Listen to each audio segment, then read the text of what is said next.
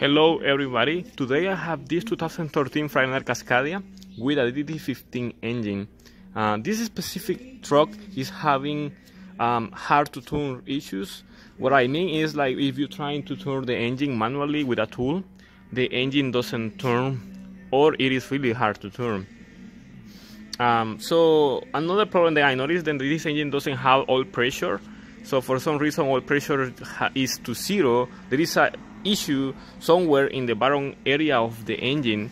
Um, luckily, the, the engine starts and runs with no problems, but it is in high risk to seize. So today I'm going to find out what is the, uh, the problem that this specific engine has with the low pressure issue. Before starting this video, I'm going to mention that this video was possible thanks to Nationwide Transport Inc. They are no longer located in Fontana, California. They're located in Ontario, California. Um, if you are looking for a job, if you are owner operator, if you are a company driver, or if you are a dispatcher, they're ready to take your applications. They are always looking for people to work with them, as I said before, uh, drivers, uh, owner operators, um, dispatchers, everybody that is involved in trucking business. As well, they're ready to take your business if you are a hauler, if you have um, lots to hold, if you are a broker, they're ready to help you on that too. You can contact directly Kong Lee, which is the VP of this company. He's a friend of mine. He's a very nice person. I'm gonna leave his number and his email so you can contact him directly. Uh, but also I'm going to leave the office number and the address so you can go or you can call them if you have any question about the company and the benefits in other situations that matters to everybody when they're looking for a job. Anyway, back to the truck. Um, so what I'm gonna do now is to uh, get uh, the truck ready to remove the oil pan. I did a video in the past how to remove the oil pump O-rings, which requires to remove the oil pan underneath the truck. Um, if you want to know how to do that, you can check the video description below or this corner of the video where I have the video, the link video for that so you can know how to do it because today I'm just gonna do a quick demonstration how to do it but if you want more details you can check that video. So the first thing I wanna do is remove the bumper. After removing the bumper I'm going to drain the oil after draining the oil, I'm going to remove the oil pan by removing all the bolts and secure the oil pan all around. Also, you have to remove that bridge that goes around under the pan. The oil pan is down as you can see, so the next step is to jack the front area of the vehicle so I can remove the oil pan from underneath the engine. All we have to do is to lift it high enough until we can clear this little bridge and then we can pull the oil pan out like this. So knowing that we have a low oil pressure issue from this point I'm gonna start researching what is going on with this engine. So the first thing is to research yeah, look at the oil pan to see if there's any evidence of something broken plastic pieces or pieces of metal. In this case, I can clearly see that this oil pan is clean. The oil smells like new. The oil, uh, the oil pan gasket is recently replaced, so that means that someone did some kind of job before this happened to this. So after looking at the pan, I noticed that there is nothing wrong. There is nothing but new oil. It smells like new. So I'm gonna inspect this area now the uh, suction manifold the tubes and the oil pump to see if there is any broken pieces or something that is not tied properly or out of the way. Underneath the engine so now I'm going to check all the components. Um, I noticed that they replaced the oil pickup uh, tubes o-rings these two o-rings are new and this one is new. The manifold the old suction manifold is new because the original is not like that and this truck has like 700,000 miles. So someone did a job on their I mean uh, on this area of the engine uh, could be that the reason why something went bad. Anyway uh, after looking for a while nothing looks bad. Everything looks on place. All the bolts are tight and secure. Nothing is loose. The pickup oils uh, o-rings are in are on place.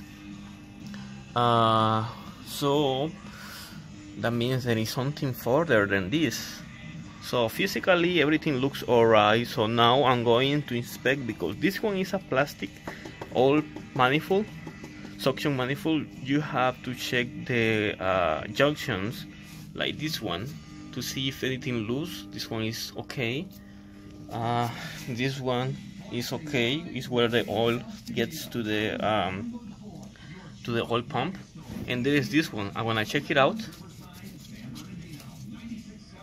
Oh this one moves. See? This one is broken. So let me see. Aha. uh -huh.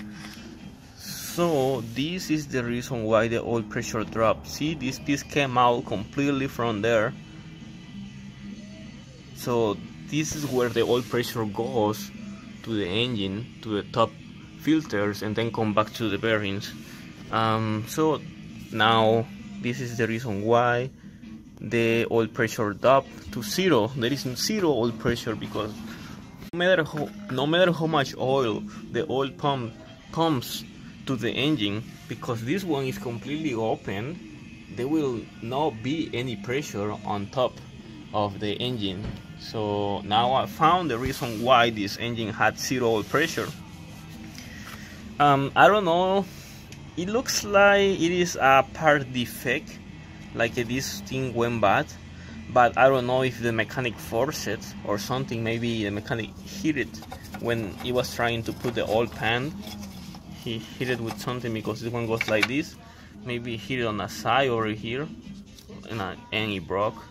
I don't know. Anyway we know the reason why this engine is having zero oil pressure now. So it is always very important to research before replacing any part. Check around what you see. As you can see I found that it looked like everything was okay but in reality it was not. So I always inspect physically visually and if there is only other a way to inspect do it to prevent problems because you can think that this part is good because it looks new but in reality it's not good. So what I'm going to do is remove all these parts and replace them with new ones. But we having hard to turn engine so that means that the all the all the uh, rod bearings and the main bearings gotta be replaced first I'm going to inspect them to see how they are and I'm going to replace them if we still okay to replace them. If not, we have to remove the entire engine to repair the crankshaft. So I'm going to do a different video on how to replace the main bearings on a DD15 engine, which is going to be very similar for DD13s and DD16s. So if you wanna know how to do that, it's going to be a link on the um, description below of this video or in this corner over here. As soon as I upload it it's gonna be right here. So um, I just gonna do this for the moment and uh, if you wanna see the main bearing replacement just watch the other video and also if you wanna know how to replace these tubes over here this uh, pick up um, the oil suction module and the tubes you can check my other video in the description below where I replaced this because there was a low oil pressure situation. I also am going to be replacing the oil pump. It's so easy to replace it. So this is the part that is broken, the reason why the oil pressure is zero. Uh, anyway, this is a real catastrophic issue then could damage the engine in a massive way. So um, everything is removed under here. Everything looks fine as you can see and looking at the cylinder liners there is no scratches which is good that means that the engine didn't suffer a massive damage um, everything else looks on place there is no overheated um, rods um, everything looks on place. And the main caps they don't look over here too they look normal. So there is one thing you have to do before uh, doing anything to an engine like this because this engine is in a massive um, way to present a failure, a crunch crankshaft failure. So you can see this little mark over here, I think that's a, a bearing wear. That's right, it's kind of gray. So uh, that means then this cap could present a, ma a, major, a major damage than the other ones because the other ones are clean. anyway, um, one main important thing to do is to rotate the engine with a screwdriver. I'm going to make sure that the engine rotates. I'm to place the screwdriver here. And I'm going to try to rotate the engine and which it does as you can see it does rotate. So that means then the engine is still running fine. Yeah so it is a little hard to turn but it still rotates. So um, that means that this engine can be safe so as I said before I'm going to replace the main bearings.